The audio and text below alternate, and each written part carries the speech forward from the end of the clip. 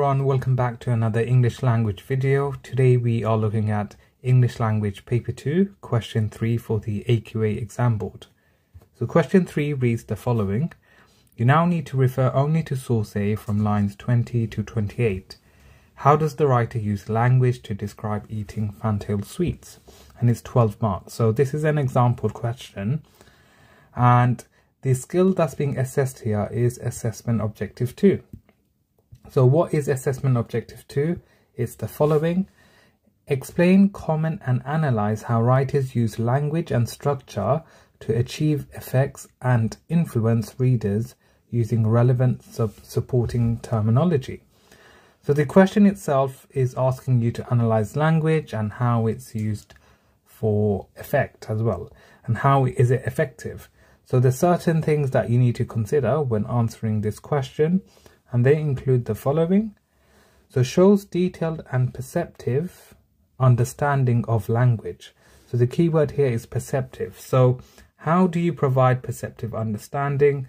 You need to look at the quotation in different angles. You look at the quote, you look at the connotations of the words, you look at the explicit, so the obvious information, the obvious things that you can understand from it, and also the implicit, the not so obvious. So this is how we show perceptive understanding of language. Secondly, analyzes the effects of the writer's choices of language.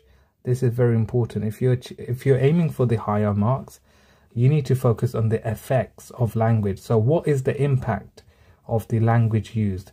Whether it's using an adjective, whether it's using a simile, whether it's using a metaphor. You need to explain in detail what the effects are. So don't don't just say it makes the reader interested okay? That is not providing detailed understanding or showing detailed understanding of the text. Next up selects a judicious range of quotations. Very important a judicious range. This means you have to be very selective with your quotations. So do not just pick out any random quotes. Make sure you are very selective and you choose quotations that are best suited to answer the question. Now often a lot of students they choose the wrong quotations and they struggle to analyze the quote. So make sure you take your time picking out the right quotations to answer the question. And the last one here we have is use a range of subject terminology appropriately. So when what we mean by this is when you are analyzing language, make sure you are using the correct key terms. So if you have a quote and there is an adjective there, make sure you identify the adjective and explain the effect of using that. Moving on, perceptive comments are made about why these techniques are used and the effect they have on the reader. So once again, this word appears numerous times in the specification. Focus on the effect. Don't just uh, identify the use of a personification, uh, metaphor, simile, etc. Focus on the effect. If you want the 8 out of the 12 out of 12, the higher marks, you need to focus on the effect. Now, just moving on to the next part here, language. As you are expected to analyze language, what is expected for you to cover here? So I've divided this into three categories to simplify it for you all. So this includes the following. So number one is the words and phrases. So that includes how does the writer use adjectives, how does the writer use nouns, verbs and adverbs, etc. So there's always something to comment on in terms of number one you'll always find this in your exams. Secondly language techniques the use of similes metaphors emotive language etc how has the writer used this for effect and again once again you will always find this in your extract so do make sure whilst annotating you label these. And the final one is the use of sentence forms. What what type of sentence forms has the writer used? Have they used a short simple sentence a complex sentence a compound imperative, inter uh, interrogative, or declarative as well. So these are some common features that you may find, but I need to stress and emphasize that the first two are significant because they hold a higher weighting. So number one and number two.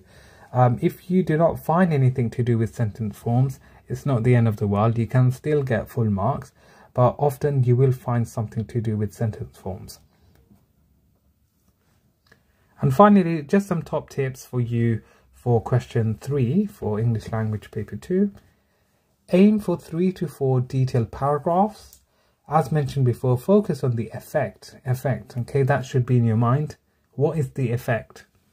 Spend up to 15 minutes on this question, okay? Anything more than um, I would be concerned for you. So I would say at most spend 15 minutes on this question. And finally, avoid making vague statements. So ask yourself how and why. So don't tell us, oh, it makes the reader interest, interested or this creates tension. Tell us how and why. Okay, so avoid these vague statements and be specific with your analysis.